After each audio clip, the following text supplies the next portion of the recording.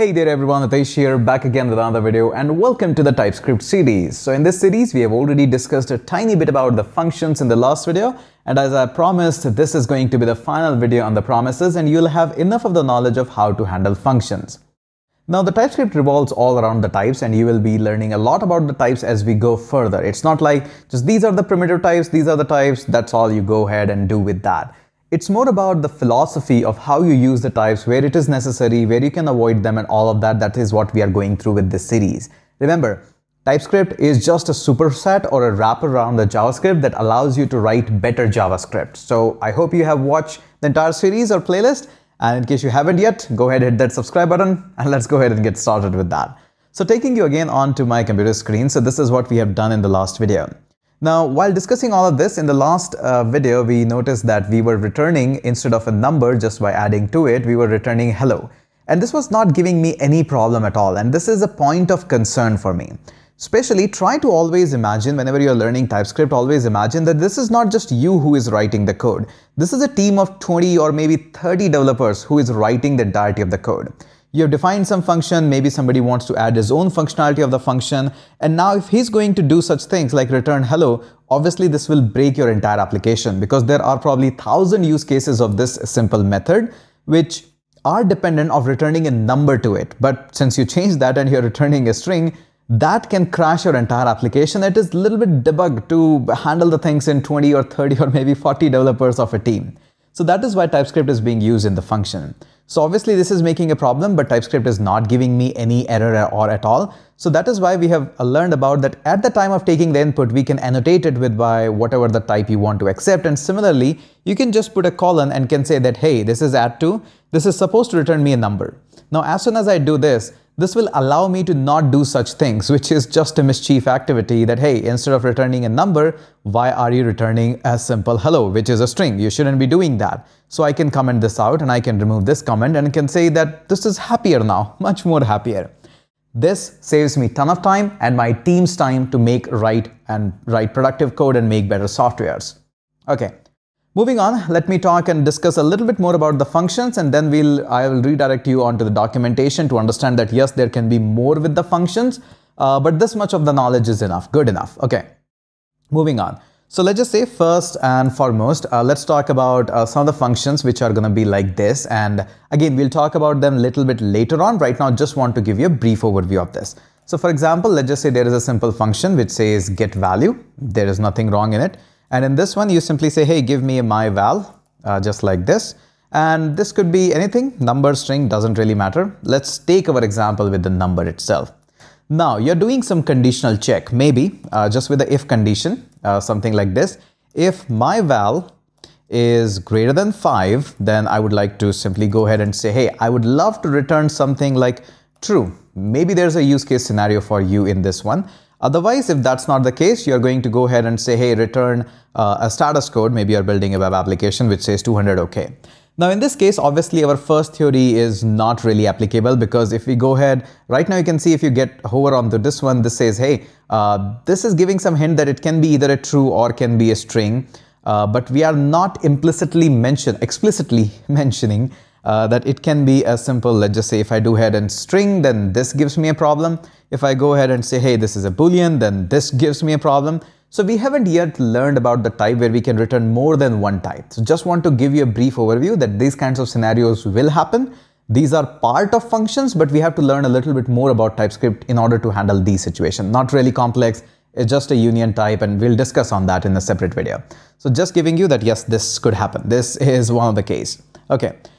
Moving on, uh, there are a couple of more things that you can do. For example, let me take another example so that you can take these code file as a note one. So let's just say there is simply a hello and uh, this is a simple method. Or let's just use a arrow function method because I think you would also love to know that if here we can put up a colon and number, what is the syntax of doing the same thing uh, in the arrow functions as well. So this is how our basic arrow function works. We have written that many times. So inside here, we take all the parameters. Uh, like for example, you want to take a string as parameter, you can do that.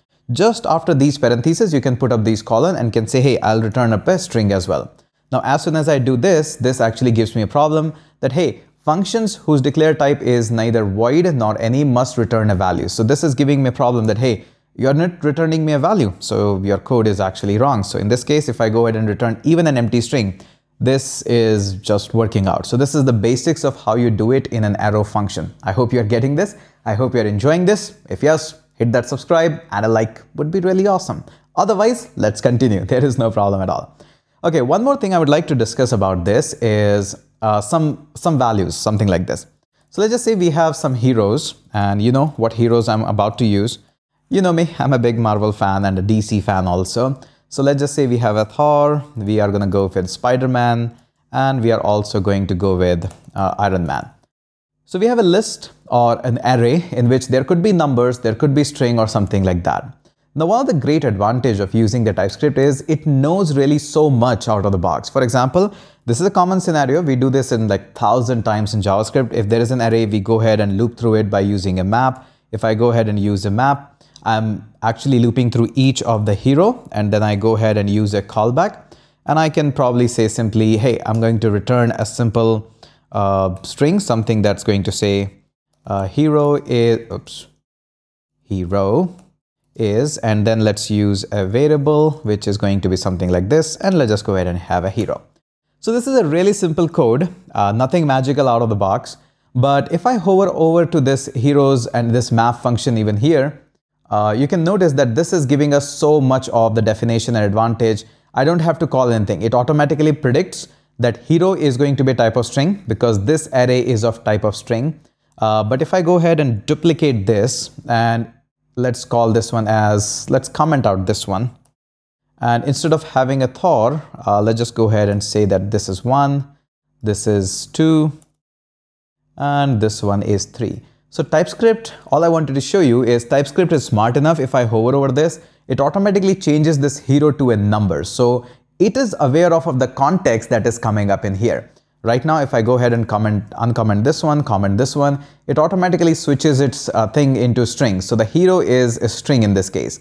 So I can avoid an additional step that, hey, whatever the values that are coming up from this one, I don't have to explicitly annotate that this needs to be always string. Uh, perfect syntax, I can go ahead and work on with that. But as you know, the, the context switching of the TypeScript is really smart and we can rely on this one. So there is no problem in that. So in this case, uh, yep, it's good. I'm happy with this one.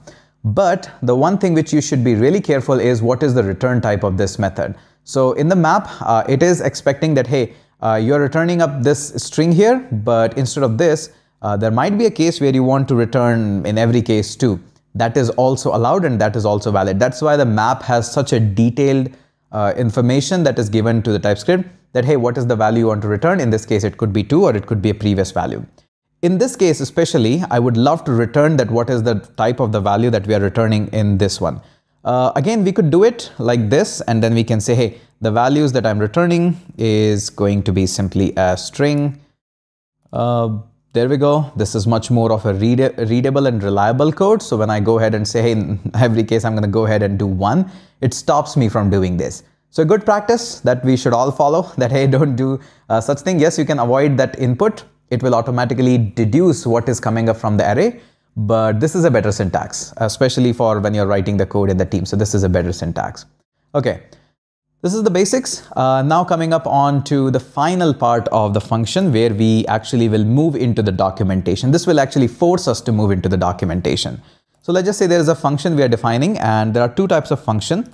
The first one is uh, simply saying console error. So the idea behind this method is whatever is being passed to it, you just go ahead and uh, log it to console. So let's go ahead and log it to the console. Obviously, we have to take a error message. So let's go ahead and call this one as error message. That is a type of string that is being given to us. And we are just going ahead and saying, hey, just go ahead and print this error message into the console log. A very common scenario which you do while building the web application in the initial phase. Now, if I hover this one, it says, hey, uh, the console error, the message it's taking is in the string format, but the colon after this is void. That means it's not returning anything. So yes, this could be the thing. But another, this is not a good practice, especially if you're using TypeScript. The good practice is to explicitly mention that, hey, whoever is using this function, he knows more about the definition of function, that this is returning a void. That means it's not going to return anything ever. So accidentally, it just says that, hey, if I go ahead and say uh, I'm going to return uh, one as error message. Now you don't, you shouldn't be doing that. And again, this might look like, hey, that's very easy. It's easy because you're just alone coding right now, watching a YouTube video. But imagine when you'll be writing code with along 15 developers or maybe 50 developers alongside with you. Okay, the same thing could be replicated one more type. Uh, another method that you will be handling a lot or writing a lot is handle error.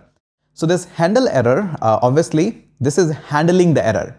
This is not going to be returning a void because it handles the error. So uh, let me go ahead and copy some line from the documentation directly because this is something which is coming up from documentation. I'm not making this up.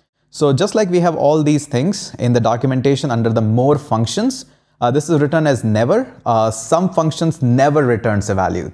Neither it's void because void is means return nothing, but there is never as well, which never returns a value. That simply means uh, the function never returns a value. I know this is very close to the void.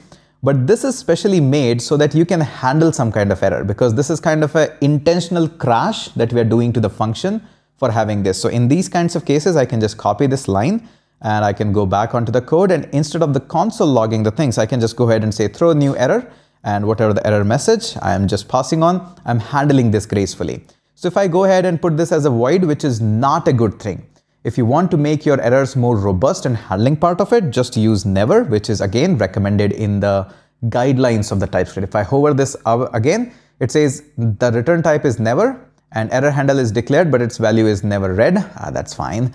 Uh, but you get the idea. From where this is coming up, again, I'm not pulling this out from the thin air or out of a hat like a magic.